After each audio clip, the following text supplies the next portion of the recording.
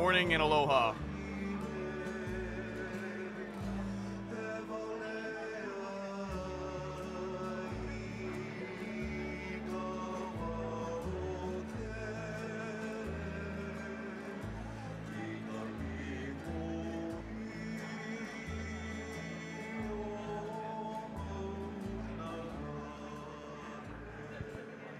Good morning and aloha.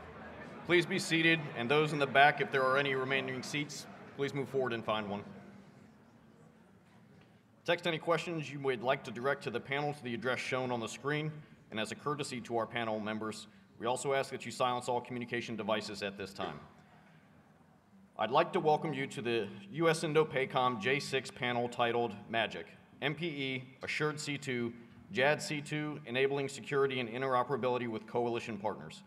On the panel this morning, we have our moderator, Brigadier General Paul Fredenburgh, U.S. Army retired, Executive Vice President, Defense and National Security, AFCEA International. All panel member bios are available in the AFCEA 365 app under today's panel events. Sir? Thank you very much. Hey, it's really great to be uh, back in Hawaii. Uh, I love it. We lived here for some time, and it is great to see a lot of familiar faces out here, and very good to meet some new uh, folks out here today. So, welcome to this morning's uh, panel session. And we have our topic today is magic. So, each one of these individuals has a favorite magic trick that they're going to perform for you live in front of this audience today. Smoke, mirrors, card tricks, we have them all up here today. So, uh, just stand by and get ready. Uh, so, no, uh, seriously, this is uh, magic. If you break it out, mission partner environment, assured C2, JAD C2, joint all domain command and control, enabling security and interoperability with coalition partners. This is a critical, uh, all of these efforts together are critical to achieve that decision dominance and operate with our allies and partners. And it underpins uh, as you heard uh, um, uh, Admiral Paparo uh, speak yesterday, uh, the operations for PAC Fleet. You heard th this morning the, the Marines talking about their stand-in forces and capabilities that are required to enable that construct. and that's what we're going to talk about today. And we have the right group of leaders here in the Indo-Pacific to talk about these topics here today. So let me just take a, a couple of minutes and, and introduce uh, each member, and, and, as soon as I introduce you, I'll give you a couple of minutes just to provide any opening uh, comments that you would uh, have. So Brigadier General Denise Brown, U.S. Uh, Indo-PACOM Director J6. Uh, she received her commission in the United States Army from Georgia Southern University. Uh, and then prior to joining Indo-PACOM, Brigadier General Brown served as the Department of the Army as the Executive Officer and the Plans and Strategy Division Chief within the CIO G6. And prior to that, she commanded the Defense Information Systems Agency in Europe Field Command, uh, supporting EUCOM. Uh, but she does have some experience here uh, on the island in Hawaii. She commanded the 307th Integrated uh, Theater Signal Battalion uh, right here on Oahu and deployed that to Afghanistan. So she's well qualified uh, to talk about uh, these critical enablers that we have here today. But go ahead. Okay. Hey, uh, good morning and aloha. First of all, um, I appreciate General Skinner's comments. Uh, lesson learned, don't joke with him prior to his uh, opening comments. but I do want to highlight one thing and magic, as we call it it's a team sport. And so we have these components uh, represented here today, and they each play an absolute critical role, and none of us would be successful uh, without them. I'm not going to take up much time because I know you have uh, introductions and some questions. So. Absolutely. All right. So next uh, up we have uh, Mr. Bob Stephenson, who serves as the Director for Communications and Information Systems and Chief Information Officer for, and the commander, for the Commander of U.S. Pacific Fleet. Uh, he's a graduate of United States Naval Academy and after a successful military career was appointed to the Senior Executive Service in April 2018. His career experience includes significant roles in all aspects of engineering and acquisition. He's previously served as a technical director for fleet readiness, space, and naval warfare system at the Naval Warfare Systems Command, uh, and he has led the fleet systems engineer uh, and the U.S. Navy Technical Warrant Holder for C4I and Coalition and Interoperability. And so, uh, Bob, uh, over to you, my friend. Thanks, Paul, and it's, uh, it's great to be here today. Um, And I want to emphasize what Denise says, this, this is a team sport. Uh, Some of our teammates aren't here, and that's our coalition partners, and of course, our partners in industry, you guys are here, as well as our par- partners in academia, and it's going to take all of us. Um, This is a maritime fight, but it is a joint fight. It- It has to be won in all domains. We, we must prevail in space and cyber. If, if I don't convey to you today our sense of urgency, if you did not listen to what my boss said yesterday, um, we, then I've failed to do my job. I look forward to answering your questions today. And it's, it's not magic, it's physics.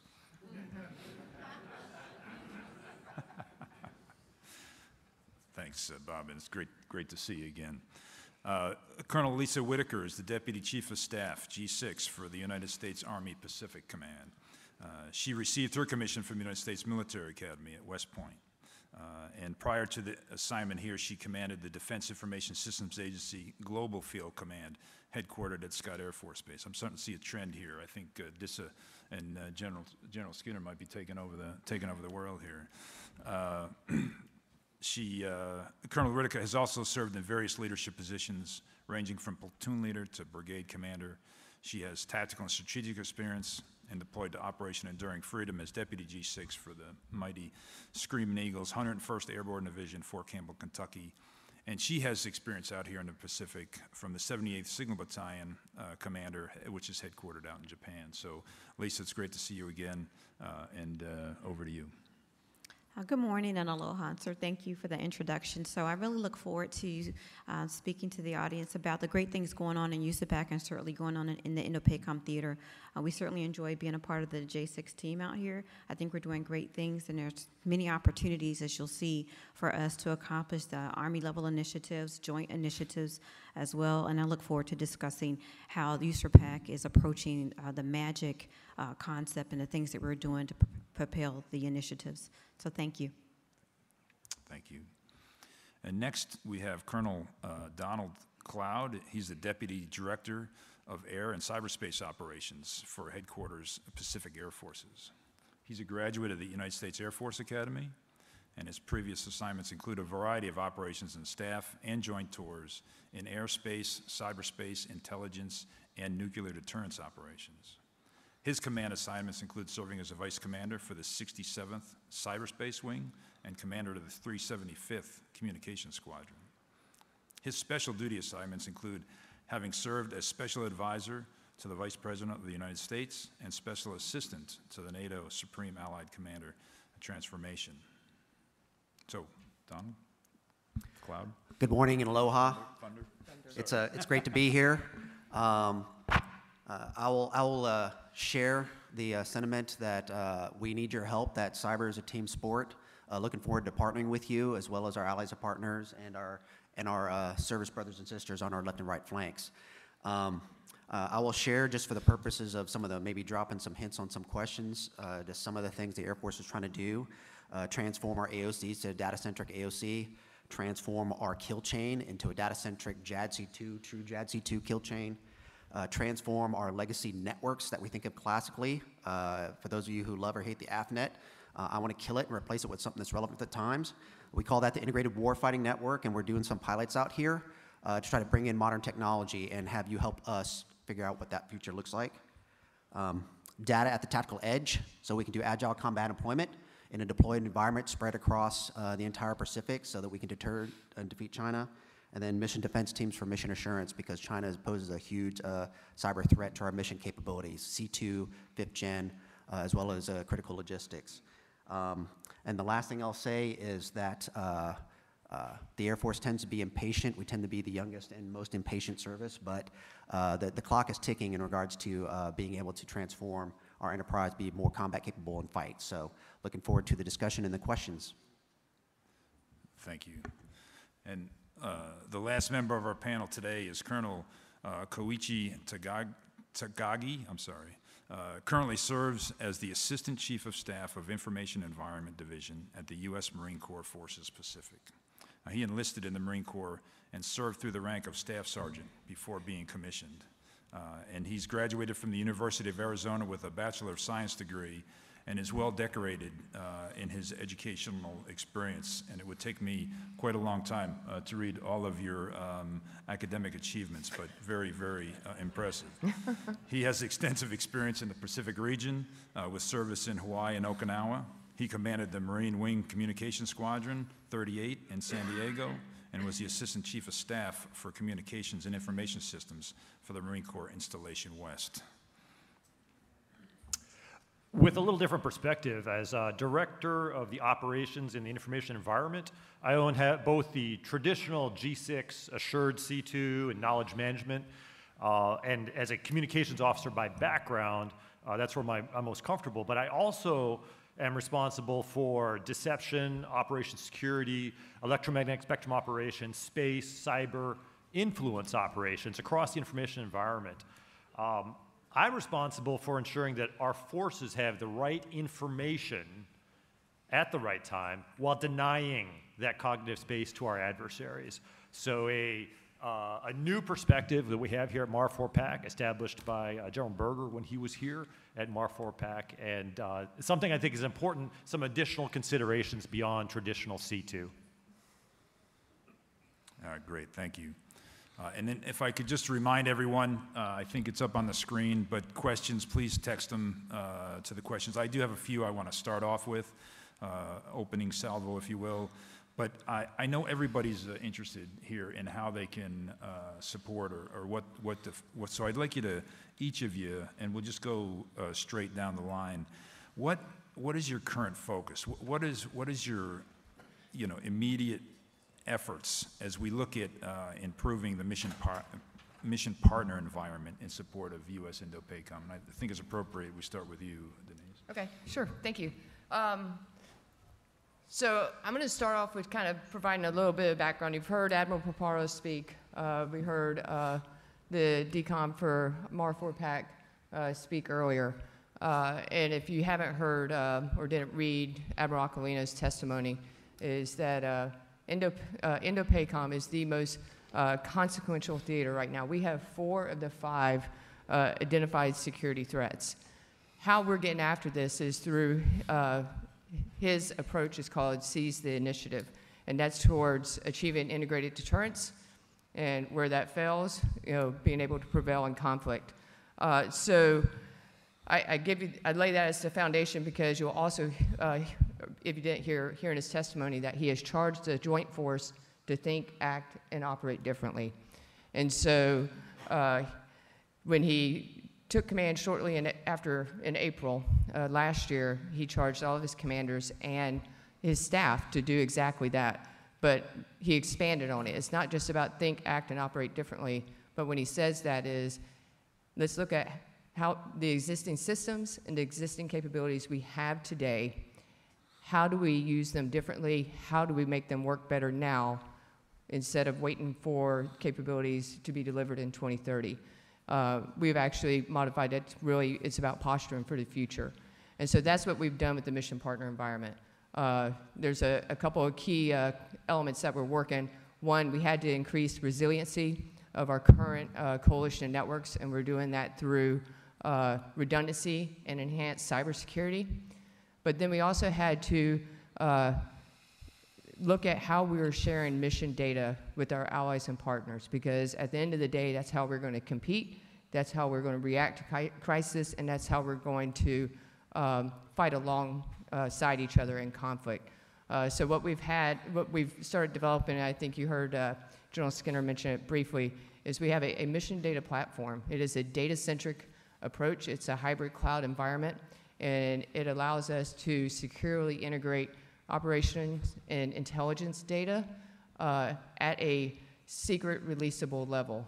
Uh, and so it is, uh, it, it's also allowing us to collaborate. It is, um, we are using the existing networks and we've really superimposed this data centric approach over our existing networks to where we didn't have to go back and rebuild networks while we are, uh, again, just waiting to posture for that future. I think most people know what MPCO's efforts are. And so while we await that, uh, we are now able to securely share um, our blue and our red picture. And, you know, we're using the existing authoritative data sources. So when I look at industry, uh, one lesson that we've had here and when we, you know, continue on with this data-centric approach is um, it's not about uh, having to have one set data standard. It's about how do we integrate the, uh, the data. It's how do we use APIs. APIs are absolutely the, um, the future for us to be able to integrate our data from these different systems. And I think for our, our industry partners to be able to integrate these tools uh, that many of us are using, uh, and they're not always the same tools. So uh, I will stop there and I'll pass it on to Thunder. Thunder, Thunder. Oh, ma'am. okay. I was getting ready to sing a little bit AC/DC There's a there. song. Yeah. That, the dancing comes later, ma'am. Yeah. The, uh, um, uh, I'll piggyback with regards to some of the uh, efforts that we have going on uh, at both Pacific Air Forces as well as the U.S. Air Force writ large. I hinted at some of them uh, before. Um, I will, I will say General Wilsbach has charged us to prepare PACAF as part of the joint and combined force uh, by 2026 to set the theater with the capabilities we need. So the clock, when I say the clock's ticking, we've set a deadline for ourselves in being able to try to do a lot of work. Um, uh, a couple of the, if you call it the priority efforts, we have to have data-centric C2. Uh, think of our classic Air Operations Center. For us, it's a joint Air Operations Center. Uh, that's to, there to provide joint uh, air superiority as well as uh, enable joint strike uh, in support of, uh, of, of everything we're doing in competition as well as uh, potentially, if called to, uh, you know, to, de- to defeat. Um, coming soon, we're going to start rolling out what's called Kessel Run, for those of you who are familiar with that, out in this theater for the Pacific AOC.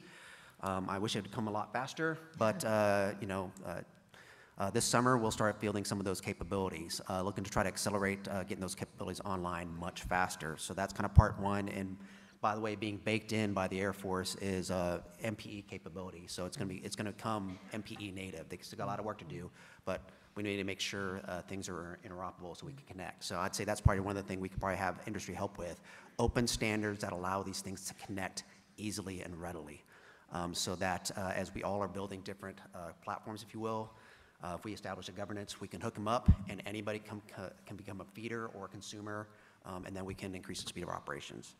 Um, kill chain, everyone's heard about ABMS. Uh, a lot of it's about adding automation so we can shorten the time of the kill chain. Uh, we're looking to try to cut the, the, the, the length of our kill chain and our most difficult problem sets, which will be uh, uh, closer into our potential peer adversaries uh, to try to cut that time in half. So we could use industry help with regards to automation to eliminate the humans in the loop for the entire kill chain. And that's the joint kill chain, so not just the Air Force piece of it. Uh, we could use some help along there. Um, and that's also bringing in our uh, uh, coalition partners to be able to do that.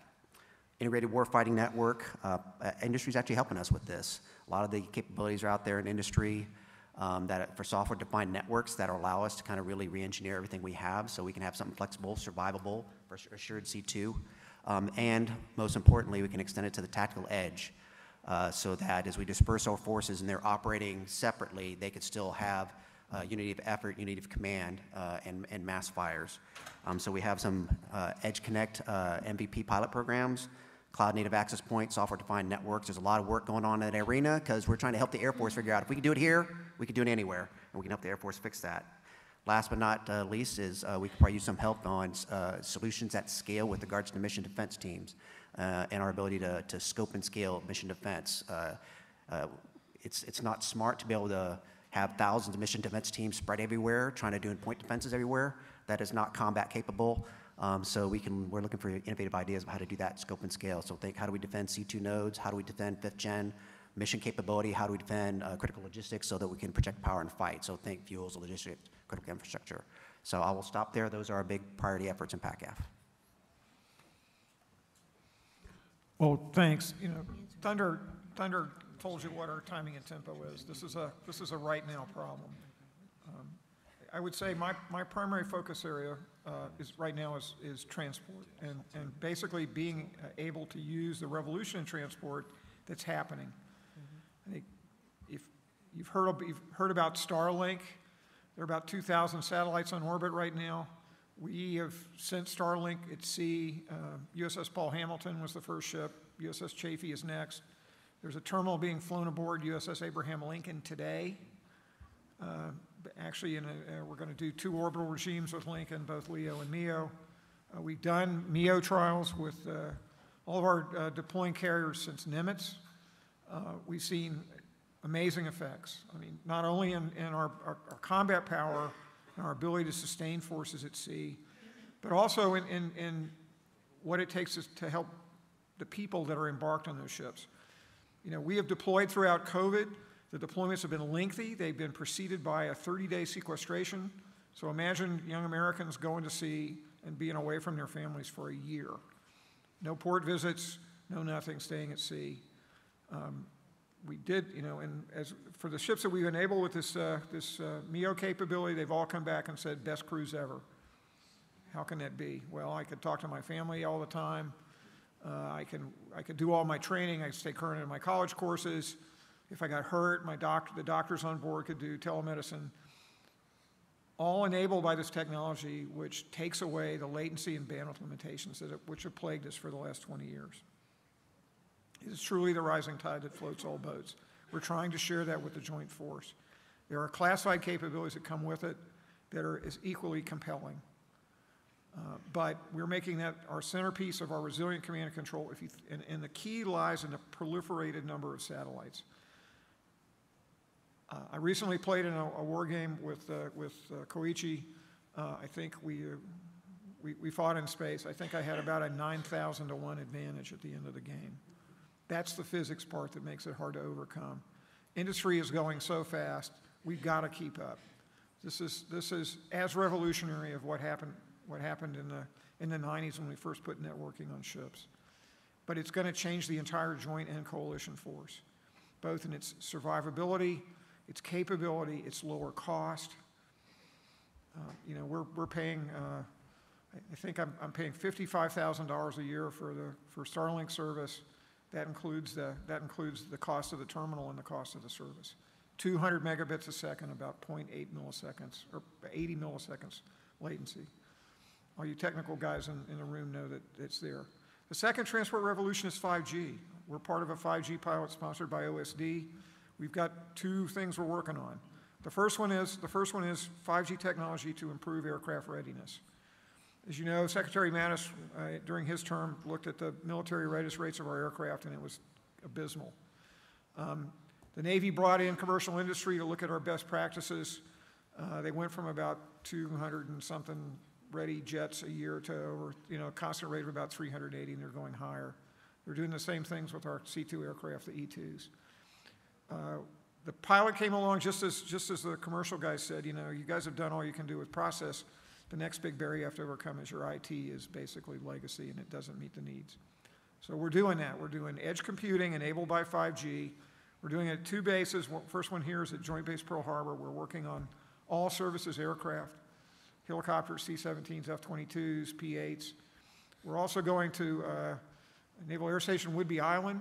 Uh, Naval that air station is the home to our uh, electronic attack aircraft, the E- the EF-18. It's the only dedicated EA aircraft used by all the services, not just us. Uh, That's very important to us. We're going we're going to improve their maintenance, and that's also the home station for the P-8s. We've got two different approaches we're looking at. Uh, I've already seen the, the first, uh, the technology demonstrated. It's very exciting. It's built with cybersecurity from the control plane up to the data.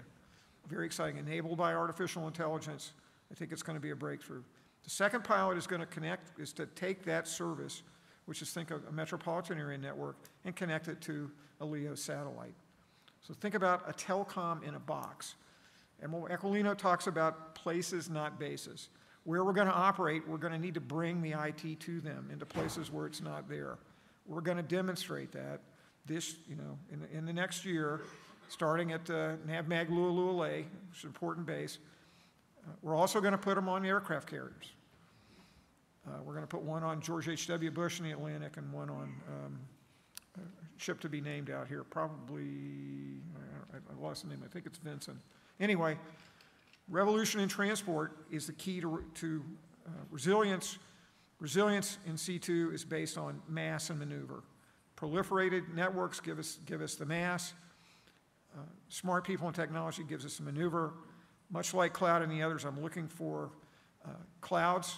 We're already, we're al- already investing in cloud computing in our MOC. Seventh Fleet's been running on one. Uh, Our, our new MOC, when it is built, will run on one. But these are, these are clouds which have to be able to operate if they're disconnected from the hyperscale cloud. My speech to industry is bring us that. We need that. We'll talk more later, but it's an exciting time.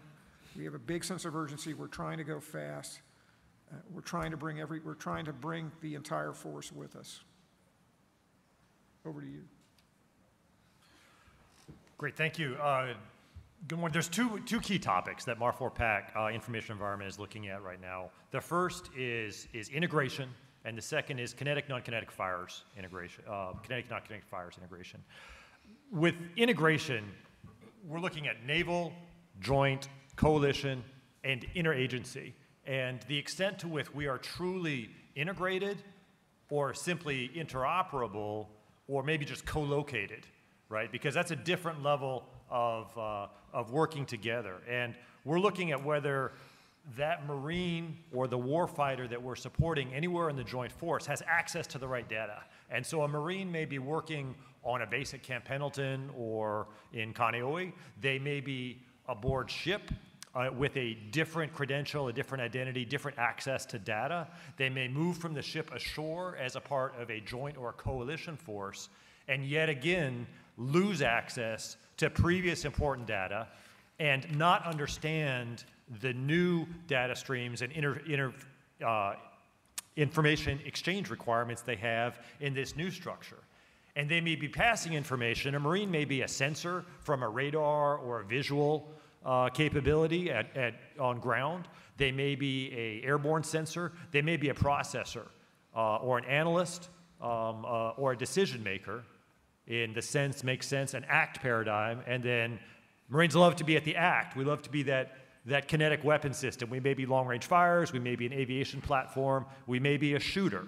In all those pieces, do we understand? Are we dealing with enterprise level data? Are we dealing with commercial cloud? Is it tactical links, data, voice, uh, link 16, message formats? Is that individual going to have access to data in all those different environments? And is it going to be the same data? Do we need to retrain an individual in all these different environments as a member of a joint interagency coalition or naval fight? I'm looking at that in, in kind of three paradigms. One is policy. Some policies, we're, we're dealing with policies from the 90s, which is, uh, you know, ages ago in information exchange. There may be policy barriers. Often there's technology barriers where we simply can't do it. Policy is we shouldn't do it, technology is we can't do it. Procedural barriers are things we can do and are allowed to do, but we're not doing, right? And so policy, technology, and procedure are standing in the way of even our naval integration, never mind the joint coalition and interagency. So we're trying to smooth that out the best. Um, and again, I think about this when, when we talk about integrated, and my challenge for anyone de- designing a system that works in any of these environments is is it truly integrated where an individual is working and they see the data they're used to and they see the new data that you're giving them and it all makes sense? Or is it, is it interoperable, meaning, well, from here I can go through some hoops and get back to my old stuff, but it's, I'm interoperable, but I'm not really integrated? Or am I just coalition? Or am I, am I just co located? We have individuals that read something on one screen and type it in to an entirely different system. All right, and that's not an integrated system. That's a, that's a co-located system at best. The second topic, kinetic and non-kinetic fires. We cannot plan and execute space, cyber, cognitive effects in the absence or separately of kinetic effects. And we can't blur those and saying, well, because non-kinetic is not non-lethal, not equivalent, and kinetic is not lethal as equivalent. There's a lot of interplay between all these. We may be driving, we may use cognitive effects to drive an adversary towards a kinetic result we're looking for, or vice versa. And so, how within our command uh, information environment, largely uh, overseeing non kinetic effects, is tightly integrated with our kinetic planning, which is um, you know, a long-standing Marine Corps uh, core function. So that level of Naval Joint Coalition Interagency integration and our integration between kinetic and non-kinetic effects are what I'm focusing on. Thank you. And Lisa? Yes, sir. So uh, here in USARPAC, we, we actually have a plan, and we've been focusing on the uh, C2 expansion. And from that perspective, it kind of provides the foundation as we move forward. And so what we've been doing is actually uh, expanding the network uh, west of the international date line, and that provides the transport required for us to be able to be able to do and execute the things that we're looking at. So at the end of the day, uh, we're providing DISN points of presence um, in approximately nine countries uh, west of the international dateline, which will provide the access that we need in order to uh, execute so that we, our focus is to see ourselves. And once we can see ourselves, then we can think and act and operate differently. Um, that expansion provides a foundation. We're incorporating it through INDOPACOM into MPE, so that provides greater access. We've installed um, gate routers, um, more importantly, in the at the DISA location. So now we have the opportunity to expand MPE through tactical assets as well. Um, so as we move forward, we're, we're actually continuing to work as we flatten the network. Our focus is on having this, the Pacific instantiation of a unified network, knowing that once we flatten the network, we have another security concern that we need to address as well. So we're doing this systematically such that we're able to provide seamless uh, ability for units to ingress and egress the theater and to communicate uh, seamlessly so that we can actually provide the maneuvers and fires that we need uh, to execute. Um, so at the end of the day, um, it's a systematic approach. We have a program in place where um, we're approaching it from a strategic perspective where we're going to iteratively um, test and experiment in theater using our pathways um, as the environment to do that in, so that in- actuality, the users that are going to be operating in that framework can give us feedback. Um, and we're going to continue through that uh, until, uh, for the first two years, and we're using Talisman Sabre as our um, pinnacle requirement experiment to determine where do we go from here. Um, our intent is to operationalize the network. Uh, We have a PED center that's actually being installed here in- in Honolulu, and our intent, again, operationalize data as well. So it's a, it's a really, uh, I think, um, logical and objective approach to the problem set, but I think that we'll be able to uh, quickly achieve some outcomes and then move forward and know how to more um, frame our perspective as we move forward to, um, to execute multi-domain operations in theater, which is really our intent.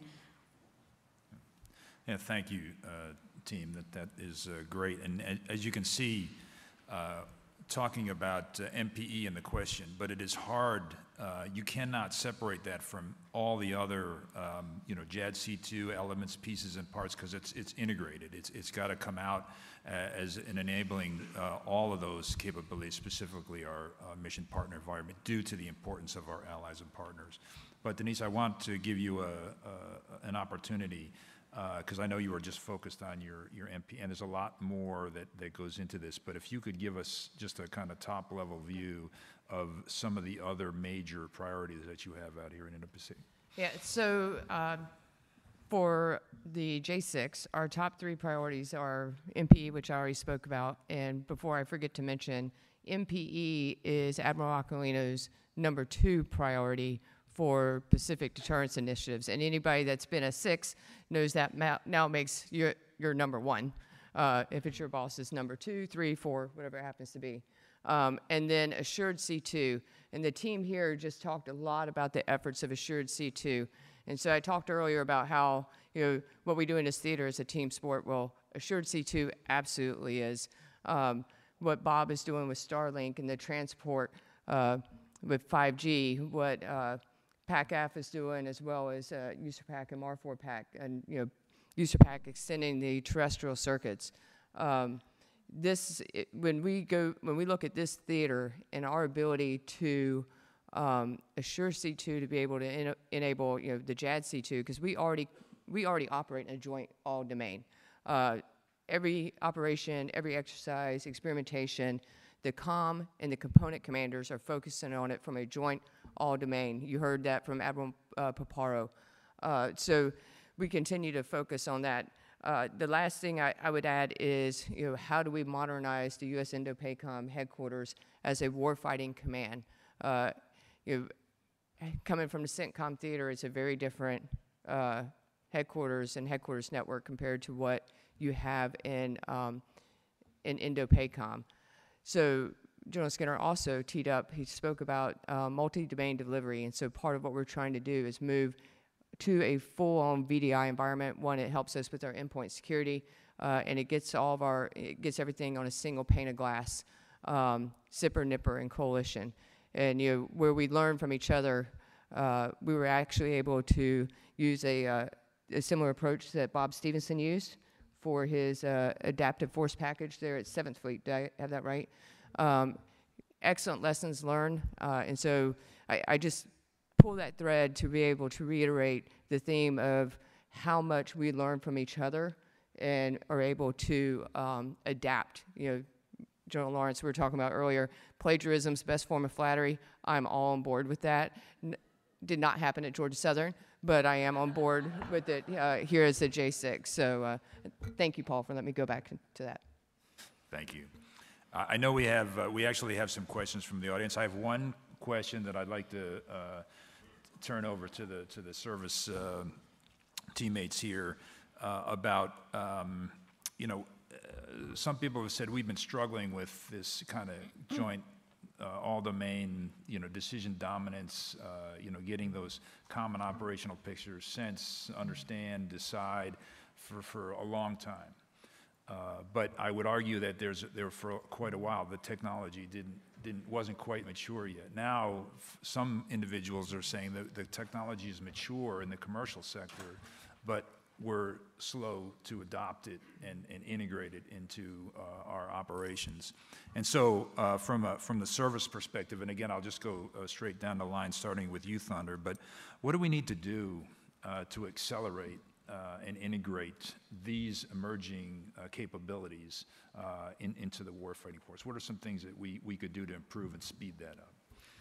Um, I'll offer two things. Uh, One is being open to the experimentation, so we can partner as industry to go fast, to prove a concept out, and that way we can help in this case, since funding comes through our service change mostly, uh, we can scope and scale a capability. So that's, that's one of the approaches we work. So uh, stop trying to tilt at the windmill and try to help steer the windmill the right way.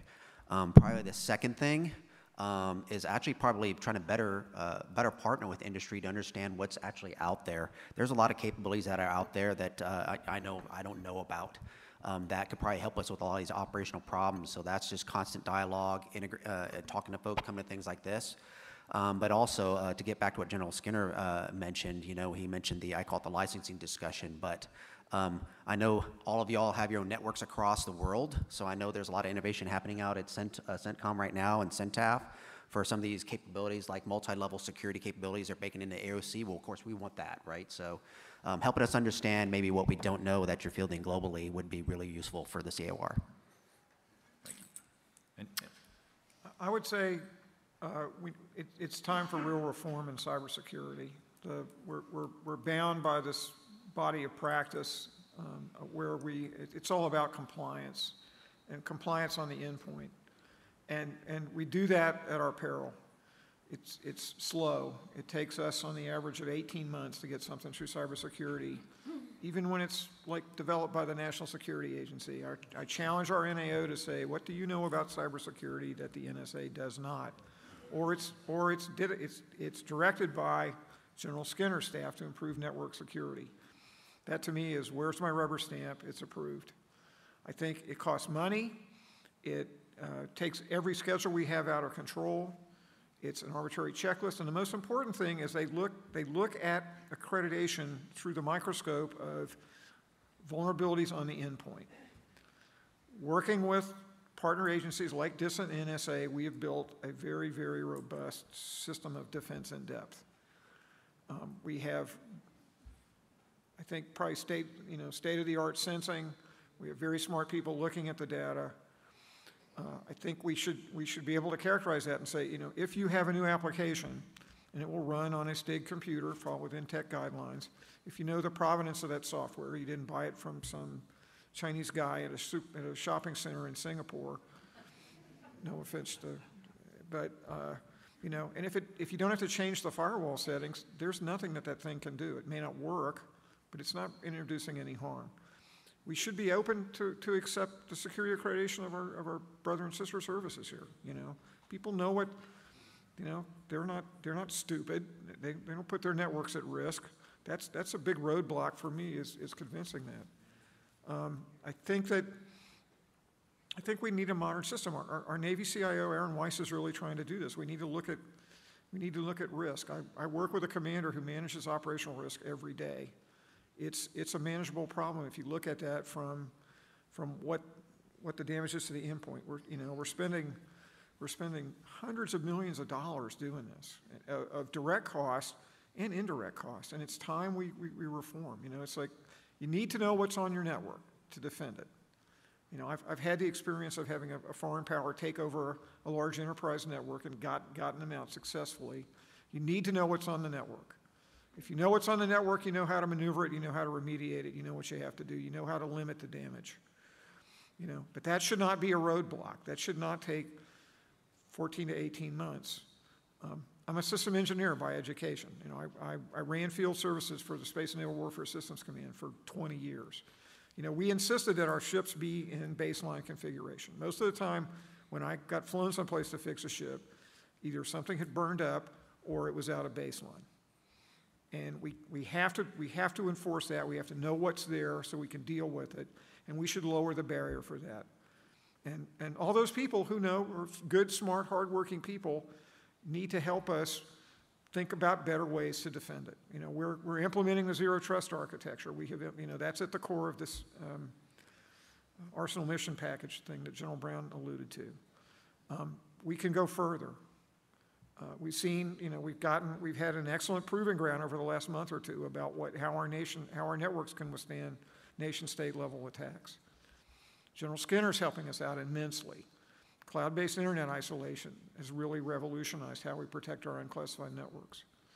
But I think if we can lower, if we can realign our cybersecurity practices to truly focus on the real thing, which is engineering security solutions that are better, having people to look at the mountains of data that we collect every day and don't really go through to find those things that are deeply hidden. I think we'll all be better for it. We can, we can, if, if um, the Marines have an application, or the Air Force has an application, or the Army has an application that I want to use, I want to just take it and put it on my network. I, Thunder and I were talking before, I saw, the Air Force has a tool for space situational awareness that I want. And if it's good, if the accreditation is good enough for them, it's, and for Space Force, it's good enough for me. I think that's the big one.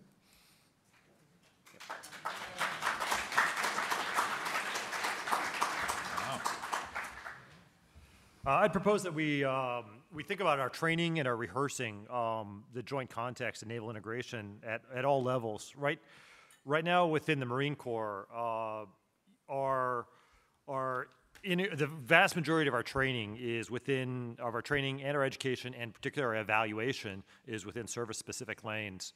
Um, requiring commanders of any aspect of a, of a service force to demonstrate uh, a robust joint uh, for us for a naval integrated but uh, a robust joint capability to show that you can really do joint C2 is when you'll find communicators trained and are resourced to that skill set. Right now, um, a joint context is is rare in a lot of our training, and it's there's always a trade-off. There's a trade-off between us maintaining our service competencies and exercising strongly within those. But a joint context is is rare, um, and it's frequently very thin. Uh, it may be it may be LNOs, it may be a much thinner context than when we truly expect a, a major joint uh, task force to operate at, and it's um, it's potentially ad hoc when we do it now because we want to focus on the uh, kind of tip of the spear warfighting functions, and the command and control relationships get less attention. So, emphasizing that more through all levels of training is an is an avenue that that I think we could grow into. I would recommend um, actually focusing on interoperability. And so here at USARPAC, I think that uh, our, our path, our course of action, I think is going to be the, a, a very good way to move forward in terms of uh, taking a capability. We're offering an experimentation platform. You'll have users that are using it in the environment, the- an operational environment, so you get immediate feedback. And we'll have the opportunity to work through the challenges that Mr. Stephenson and others on the panel have discussed. You know, we're looking at the end-to-end challenges, whether those boundaries are artificial or physical. Uh, we know that there's a risk management framework perspective to consider. Um, there are many firewalls that affect a sensor to shooter um, execution that plagues our uh, theater fires element um, and team members. And so for us, the G5 Concepts is the organization and USARPAC where you get to introduce a capability, um, and then you can get that particular concept um, kind of lined up and in a schedule, and then we'll be able to provide it to users to give immediate feedback. So that would be my recommendation. Thank you. And we have a lot of questions lined up here from the audience, and so can we go to the first one? Okay. So with China and Russia's EMP capabilities, are we doing anything to harden our commercial communications infrastructure to fight through an EMP event? Okay, so I, I will take that. Um, it's classified. Um, but I, I will tell you what we are, you know, we work very closely with our commercial partners. So when you talk about partnering with industry, uh, we absolutely rely on uh, our commercial partners, and we are working uh, with them as far as how do we uh, ensure security. Uh, most of our, you know, we encrypt our, our information, our networks, but we still have to be concerned about the, the EMP risk. Uh, and part of that is through building that resiliency we were, I was talking about earlier and increasing the, um, the redundancy as well as that uh, cybersecurity. But I would add on there, it's a, about hardening those, uh, the commercial infrastructure. Uh, I, I jumped on that grenade. Uh, Bob, did you want to add anything? Well, not really, because it is, it is class, the answer is yes, we are, and no, I can't tell you what. Um, I- Ma'am, I will offer one more thing. Um, It's, uh, if you think about the nature of this problem, there are other ways we can complicate the adversary's ca- uh, calculus. For example, um, as the the Kessel Run program is going to build a series of global C2 nodes across the entire world that are all going to be networked and data-centric. So if China and Russia want to take it out, they got to take out everything. So the idea is how do you complicate their, their, their calculus? Um, And, and so how do you uh, create uh, the ability to continue to survive and operate in, in that kind of environment so you can't put all your eggs in one basket. So we're learning how to, uh, we're testing out new concepts to be able to operate in a dispersed fashion to include this AOC. Um, and those are other unclassified ways, details aside, that uh, we can talk about in the uh, uh, unclassified form. And I- think that was an excellent point. and, you know, Bob talked earlier about his uh, efforts with transport, and it's very much, it's not just about uh, hardening our commercial for EMP that this question infers to, it's about that resiliency re- through redundancy, which means multiple transport paths and having capabilities that are able to leverage multi-paths, right? So, you know, for a topic later, I guess, during uh, the AI ML, but, you know, how do you automate that, uh, that failover of our, you know, our operational assets as well as our tactical assets over to the multiple paths? Thank you. The next question. Cognitive warfare is different from information operations and psychological operations or information dominance. It is weaponizing, uh, excuse me, it is weaponizing artificial intelligence uh, and considered a global risk. What are, uh, what are we doing with our partners to address this new threat? Okay. The- I- You can read the question. I know there's a couple of Yeah, I'd like to awkward start nature with there, that, with what we do in Information Environment Division. So we, uh, we do work with partners and, you know, broad, I don't, I don't want to quibble about some of the definitions in here, but that cognitive space for decision advantage is, you, we're focusing on our, our friendly commander. Is that commander getting the right information at the right time? And so do we have, uh, technology, processes, expertise that filter our sensing capability. Are we being deceived? Do we understand what's happening? Uh, are we making sense of the environment? So that's the, that's the sense and make sense portion of, of information operations. With our partners, that's, that's the sensors and the data systems that get information to their friendly commanders, but also educating, uh, you know, through training and through education, um, how a commander needs to make decisions. On the, on the other side of that, how do we attack that adversaries' decision, space, reduce their access to good information, fill them with information that leads them in the wrong direction, while, most importantly, maintaining the credibility of the United States and allies and partners by using truth and transparency. We're being very effective with that in, uh, in a number of situations now, and we have subject matter expert exchanges and other means where we are trying to educate partners to, to use transparency, uh, valid information um, as, a, as a tool uh, to influence the environment they're working in. Any other? Yeah, I think that, you know, everything that Coach was just saying, you know, it all comes down to, you know, kind of the theme we were talking about is sharing information with our allies and partners. It's about being transparent. And so as these, um, these risks and this uh, um, cognitive warfare becomes apparent, what is critical is being able to be transparent and share that infor- information with our allies and partners so they are cognizant of it. And There's there's a lot, a lot that goes into that. Uh, All right, next, next question. How are you leveraging AI uh, and ML in your cyber approach? And knowing that our adversaries have less red tape to contend with in their attack TTPs, what are your strategic plans to leverage and innovate around artificial intelligence to defend PACOM and slash maritime networks specific to? MPE? Yeah, I'll, I'll take that one. So computers actually produce a lot of information when they're being attacked.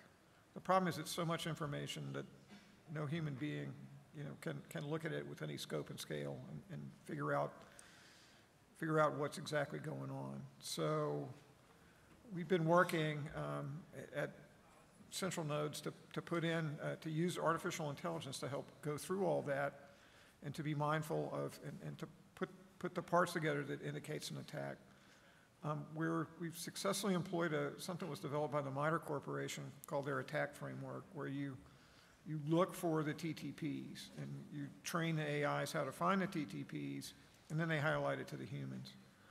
Uh, Captain Vince Chunkyhow is here. He's the CEO of our uh, communication station. He has uh, an organization called the, the Cybersecurity Operations Center, CSOC. It's, it's our most effective minute-by-minute defenders. Uh, it, it's, they are assisted by AIs. At the end of the day, though, it takes smart people to validate what the AIs are telling. The AIs just let them go through the data faster.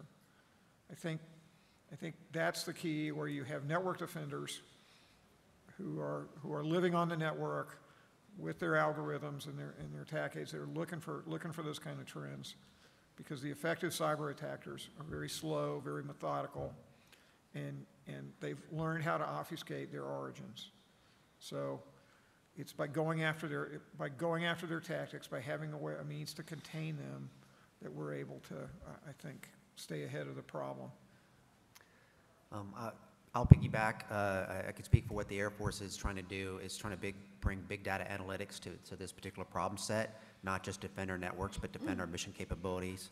So I know uh, they, they've developed a platform called Elixir, for any of those who knew it, uh, know about it. So think it's pumping all that data and then applying machine learning to it, as, as well as the ability to query it. Um, and it was built uh, primarily to defend our, our core networks, but we're expanding it um, to incorporate other capabilities that we want to feed into it. For example, the mission defense teams I talked about before. Um, that has to be the approach if there's any chance of scoping and scaling this to, to fight this kind of adversary. By the way, this is a lot of how like industry does this, so, so y'all are helping us, right? So if you go to any of these big cloud-based companies and stuff, they don't do the whack-a-mole kind of uh, version of, of cyber defense, which would be uh, kind of dumb. So um, I hesitate to say AI, because that's a whole different ball of wax. Um, I, I'd be okay with saying uh, machine learning uh, applied to that, um, but that's kind of the state of the art right now. And if there's other ideas, we're very much open to them. Yeah, very much machine learning. All right, next question.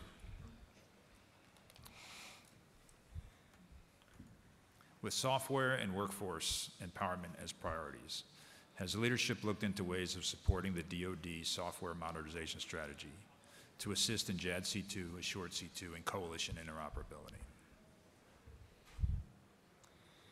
So I think one of the things we have to look at, and you know, General Skinner was teasing this out, is you know really how do we look at software, um, and and it goes back to uh, I think you had a question about this and we didn't get to it. Is this as a service model? There's a lot we can two things. There's a lot we can do with software that doesn't require us to completely uh, redo our networks. Um, and uh, to help us with that coalition interoperability, I spoke of that earlier with what we're doing with the Mission Data Platform. But I think there's also a lot of potential out there with as a service. Bob mentioned earlier how fast industry is moving, and we need to catch up. I would say, you know, maybe we don't need to catch up, but we need to partner and look at how we can leverage industry uh, as a as a service. Uh, I used to have a boss. Uh, I don't think he'll mind me attributing to him attributing him to this. He used to tell me, you know, Denise, uh, it's General, Lieutenant General retired Crawford. He used to say, "Only do what you can do." And I know my team has heard me say this a lot, but there's only things that we in the DoD can do, and there's only things that industry can do, and that's where uh, we need your help. And I really think that as a service in the future is uh, where we best can use your help.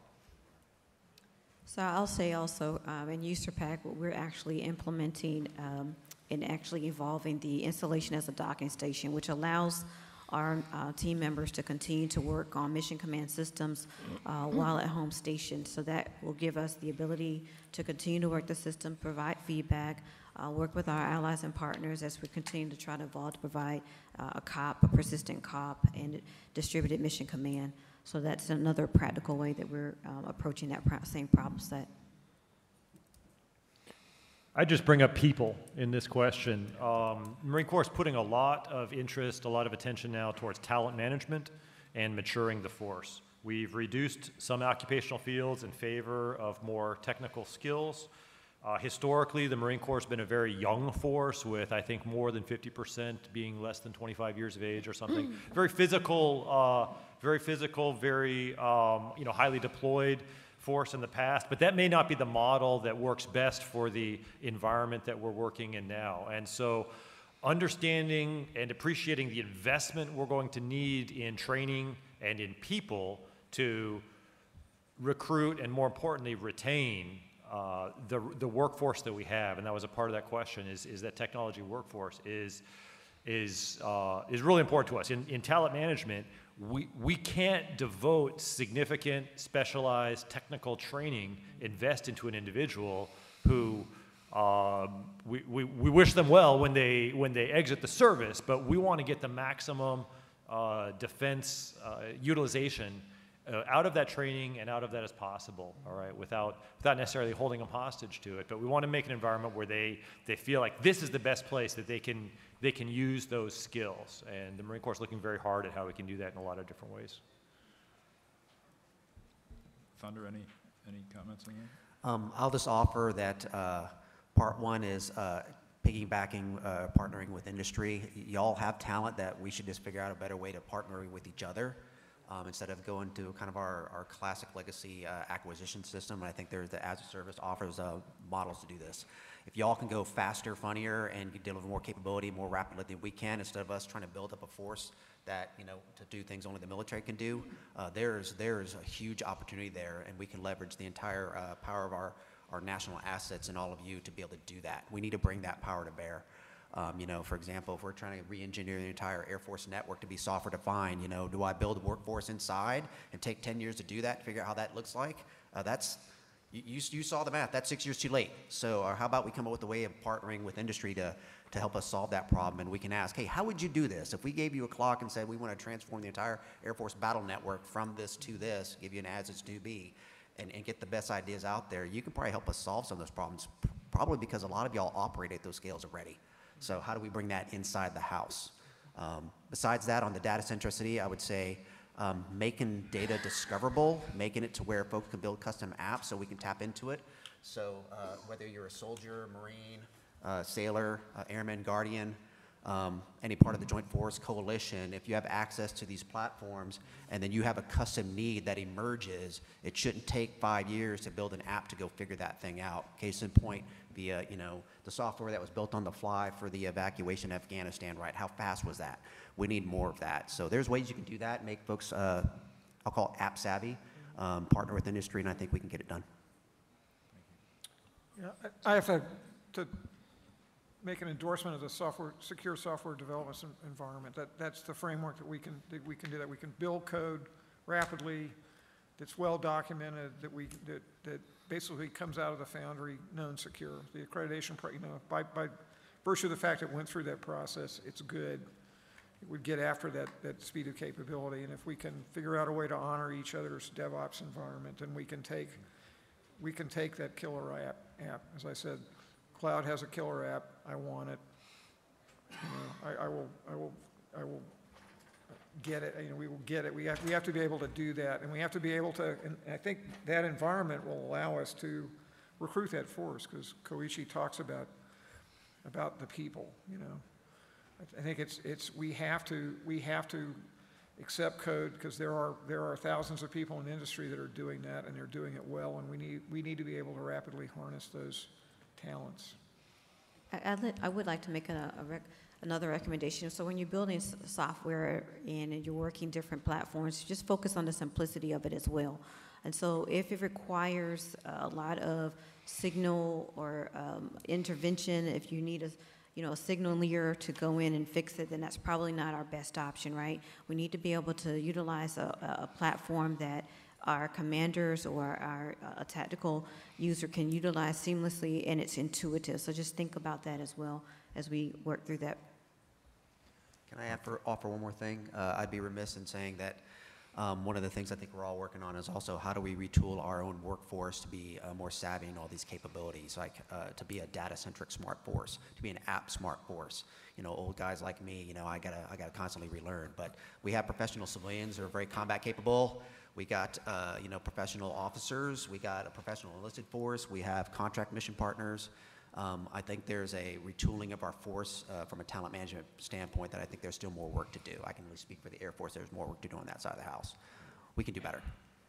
Yeah, in- and I- Including ourselves. Yeah. Yeah, I think there's the, the, you know, talent management and training our force for a data-centric environment, but I think uh, it's not about being, it, they don't have to be the data engineers, they don't have to be the data scientists. Uh, That's where we look at, you know, partnering with industry. But kind of what Bob was hitting at, I think, is, you know, how do we, you know, train, get trained as a, uh, a service or a joint force to be able to leverage, you know, these new capabilities, the data-centric environment. Um, and I'm sure we'll hit on the uh, security, but you know, one of the things that we didn't hit on with data centricity, I mean, the, the theme of the conference is from data to dominance, is the added security that a data-centric approach provides. It provides us defense in depth. Uh, you know, we've all, we, all the information that we've been protecting has been protected through the network security, and now we have that extra layer of defense with the uh, with being able to protect that data and only ensuring that those who have um, who need access have access at the right place, right time. So, and that's you know, one of those things that we have to continue to evolve and understand all the advantages of uh, software and as far as uh, data centricity.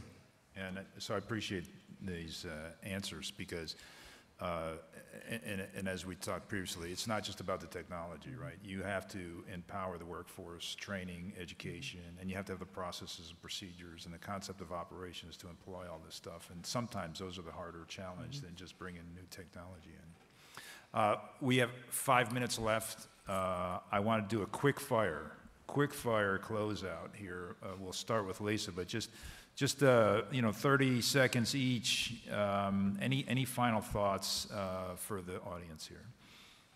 No, I, I think that we definitely need the partnership, not only uh, from the joint perspective, but certainly with industry. And so we really just look forward to uh, implementing some of the new capabilities that you're working on, and uh, thank you for your time.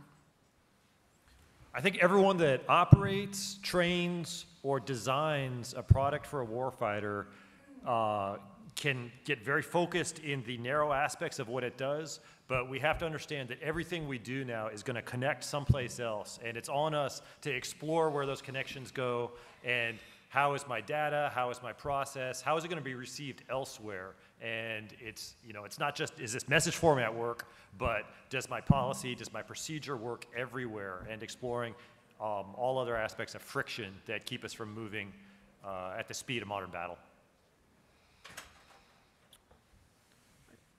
I think this, this thing about ed- education and, and building up our workforce is critical. Uh, I was very lucky. I inherited an enormously talented team.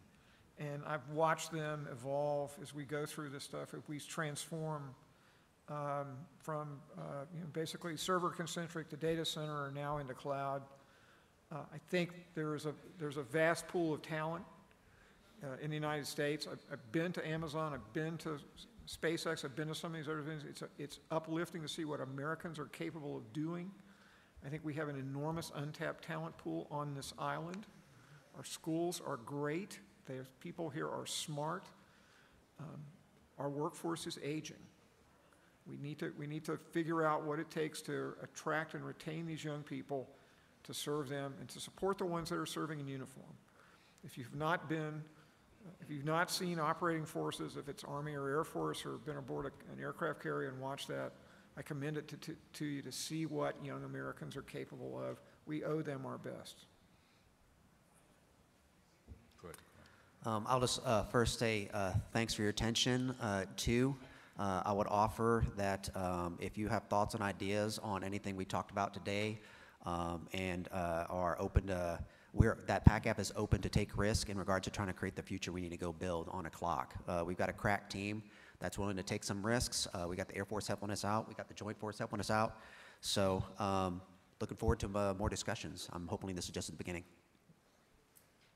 Okay, so first of all, thank you, AFCEA and uh, industry, everybody, uh, one, AFCEA for inviting us to do this panel, and uh, of course, industry and our other, our allies and partners. We do have a partner in the audience with us, uh, so I appreciate you attending. I hope you're, you're getting a lot out of this.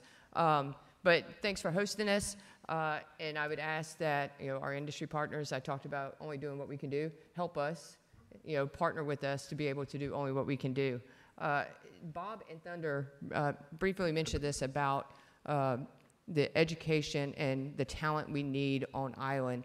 Uh, this whole team has been partnering with the University of Hawaii, uh, as well as the uh, the state senate, uh, several of the state senators, but really about how do we build talent on this island? How do we retain talent without having to uh, contract out and bring teams over here uh, on and off.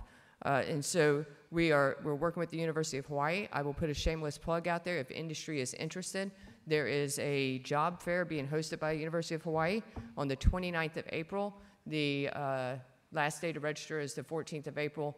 But I do foot stomp this because we really need the talent here on island. It is very, it's it's a long process to be able to hire uh, folks into uh, our organization. So with that, uh, I appreciate everything, and thank you, Paul, for hosting it. Uh, you welcomed me to Island about you know two and a half years ago, and it's great to see you again. Awesome, awesome. Well, thank you. Uh, I just want to take a quick opportunity.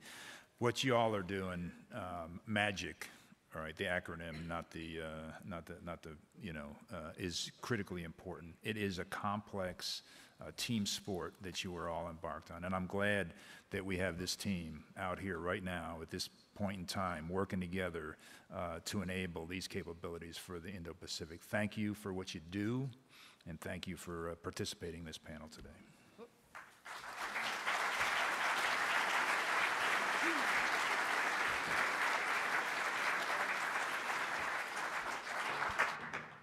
And I too uh, would like to thank our panel members today. Uh, one of the things that we find is the ability for us to come together and have some of these discussions are invaluable. For the last two and a half years, as you all know, we've gone through a pandemic, and Hawaii has been the last state probably in the country to come out of the pandemic. And I have a big shout out to General Brown because last summer we had some dialogue about November TechNet. And we knew we weren't- we weren't going to be there, even though some of the other states in the mainland were having their conferences. We made a decision with her guidance as well, not to do another virtual, but to have an in person.